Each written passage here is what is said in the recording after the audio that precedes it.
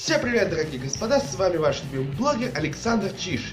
И я как раз сейчас решил сделать такой лайт-обзор в этом плане на недавнешний фильм, который вышел как раз 19 сентября. Угадайте, какой этот фильм?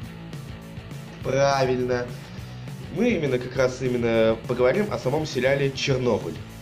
Ну, конечно, 19 сентября была, конечно, премьера финального сезона фильма. Как раз именно вышел полнометражный фильм именно посвященный такой финал, ну, где именно заключительная концовка там. Ну, конечно, некоторые там скажут, конечно, ой, чиш, да ведь же премьера была 19-го, все дела там, ты опоздал. Но я могу сказать одно, я где-то читал в официальных изданиях, что э, будет еще второй фильм, будет именно 26 сентября, я слышал. Вот, и поэтому в этом плане тут еще неизвестно, будет оно или не будет, но и то но и то, это еще не поздно, еще недалеко отошел. Вот, но мы поговорим не конкретно об отдельно взятом фильме фина- финального отрывка сезона Чернобыль. Зона отчуждения, а мы поговорим о самом сериале Чернобыль. Зона отчуждения. Именно как он вообще выглядит, именно каковы вообще действия и каков интерес этого сериала. Так что, дорогие мои господа, берите чаи, садитесь и смотрите, будет интересно. Погнали! Вот, Чернобыль, зона отчуждения. Это вообще, считаюсь, необычный российский сериал, который с элементом экшена, элементом жутиков и альтернативной истории. Ну, фэнтези и фантастики. Вот, этот сериал очень интересный. Сюжет заключается так, что был такой главный герой Паша Вершин и его друзья, как там Леша, Аня, Гоша и еще одна из них. Женщина, я не помню, как ее точно зовут. Вот. И в результате у Паши дома сохранились деньги.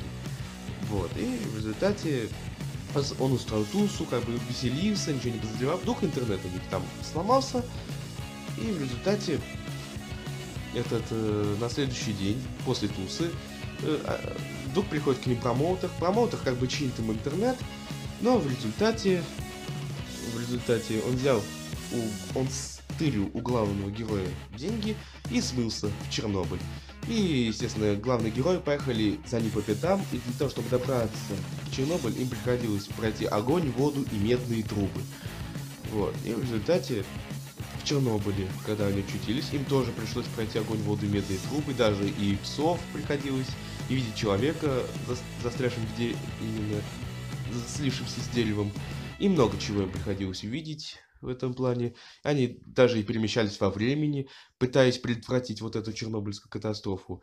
Как раз Паше Вершину удалось предотвратить эту катастрофу, и в результате, после того, как он предотвратил чернобыльскую катастрофу, он очутился в альтернативном 2013 году после этого где там СССР был до сих пор жив, а подобная катастрофа случилась в Соединенных Штатах. Вот. И в результате, и в результате он был в шоке, потому что он как бы попал в альтернативный 2013 год, и поэтому, естественно, он встречает своих альтернативных друзей, таких же, но только альтернативных, и они едут в США там предотвращать катастрофу в Кальверклифте. И в результате они выясняют, что взрыв устроила Клара Мэд...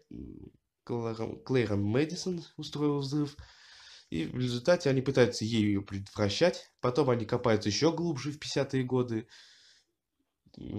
Копаются. Говорят, там были перемещения во времени были. Вот. И в результате выясняется, что у Клары Клейн был душевно больной отец. И в результате ну, вы сами увидите, я спорить в основном не буду. И там дальше разборки с Киняевым, что, естественно, кто такой Киняев?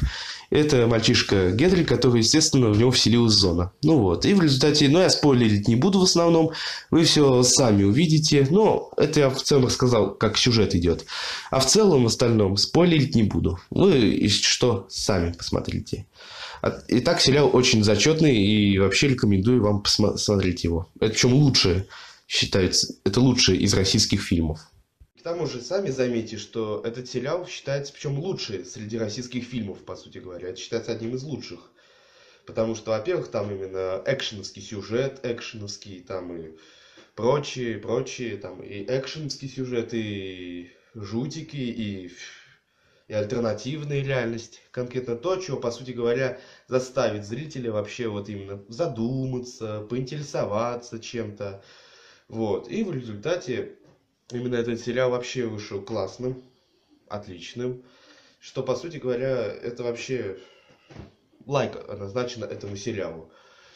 Так что, если что, можете вы посмотреть этот сериал как-нибудь вы можете посмотреть, и в результате он вам понравится. Я вам прямо скажу, он вам понравится. Ну, конечно, если придутся, конечно, те индивиды, которые поставят фуру дизлайков из-за того, что из-за того, что я, или кто будет хейтить этот сериал. Ну, я это, конечно, понимаю в этом плане. Но, но мне он нравится, я тебе скажу. Это причем считается отличный сериал. Очень интересный и очень оригинальный по-своему. Ну, а так был с вами ваш любимый блогер Александр Чиш. Подписывайся на мой канал, ставь лайк, делись этим видео, если тоже интересен этот обзор. А так, всем пока и удачи.